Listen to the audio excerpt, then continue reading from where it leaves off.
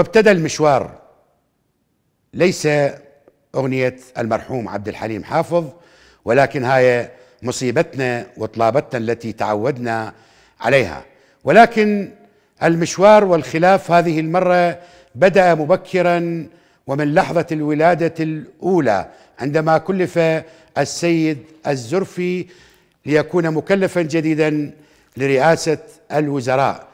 والمفارقة الكبرى في هذا الموضوع أن السيد الزرفي كان من المفروض أن يكون مكلفا للقوى السياسية الشيعية لأنه وبحسب ما اعتدنا عليه هو مكلف القوى الشيعية. ولكن في اللحظة الأولى أو الوهلة الأولى أن يكون للأخوة الشيعة أو المكون أو سلطة سياسيون الشيعة أن يكون لهم خلاف.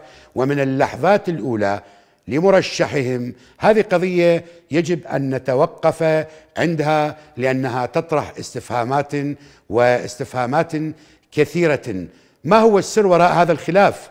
وأين كانت المفاوضات؟ وأين كانت اللجنة السباعية؟ ولماذا؟ هل هم انقلبوا على السيد الزرفي أم أن هنالك حقائق أخرى في الكالوس السياسي لا ندركها؟ وبذلك نذهب لمعرفة ما الذي جرى في هذه اللحظات؟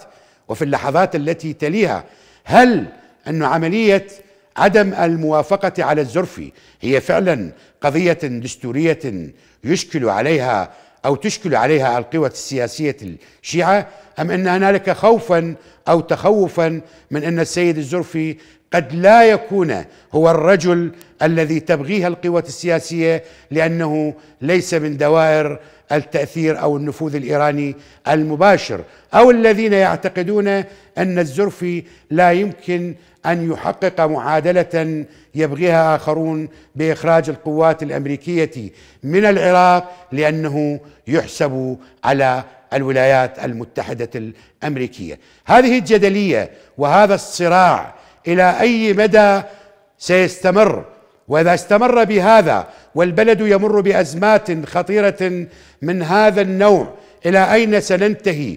والحكومة مشلولة ورئيس وزراء بصلاحيات كاملة مرض يهدد الناس نزول في أسعار النفط ميزانيات خاوية. من يدرك الذي يجري في هذا البلد حقيقة؟ وهذا الذي تحاول أن تسوقه القوى سواء المؤيدة أو الرافضة. من يقتنع أن في هذا مصلحة للوطن سواء الذي يرفض والذي لا يقبل أو الذي يقبل؟ نحن أمام معادلة خطيرة جدا.